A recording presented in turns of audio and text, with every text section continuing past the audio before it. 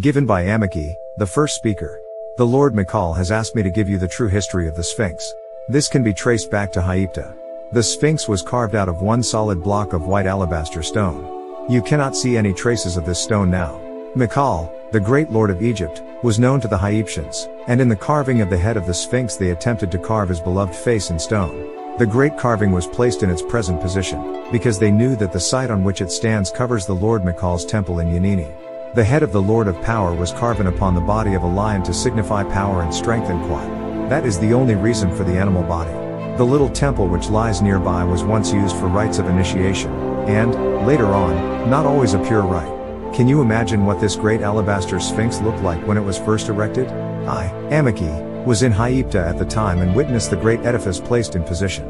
The power of levitation which was used, was the outcome of what the Hyiptians knew existed in the power of the amethyst and the power lord of God. The Sphinx was considered by the Hyiptians as the emblem of strength and power in stone.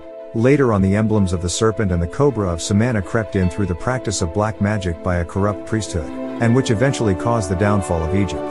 The islands of Britain are largely peopled with the reincarnated Hyiptians and Egyptians. They are still under the Lord Mikaal. It is these races who brought the Lion of England. At a later date, the rose of Egypt was brought by them to Britain, the floral emblem of England. Many of the ancient scarabs of Egypt are known as the rose scarabs. The Lord Mikaal is giving to the world much of Egypt's unrecorded history. And first speaker. Given by Het, Shuma, the second speaker. I greet you. I am Het Shuma, and once lived in Hyipta. The word Sphinx is a meaningless modern name invented by humans.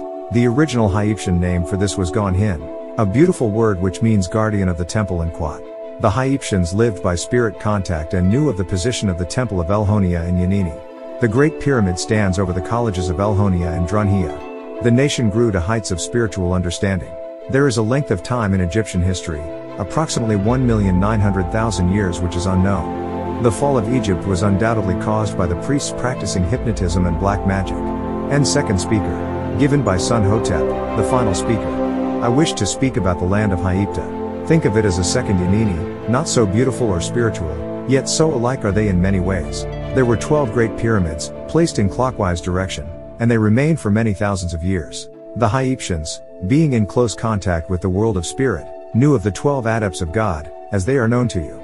Only three of the original pyramids remain.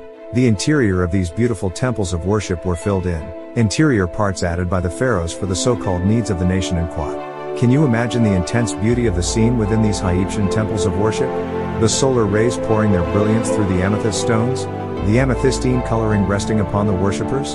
The Gonhin was built when the 12th pyramid was completed, a memorial for all time. A memorial to the Lord of Power, Lord Mikaal, to guard for all time the precious buildings below. Would that people understood the Hyiptian idea, the power of God in stone. Time and man have defaced the Gonhin, it has no longer the beautiful face it once had. But it still conveys power, a silence, a speechlessness, three aspects of the Lord of Power. And final speaker.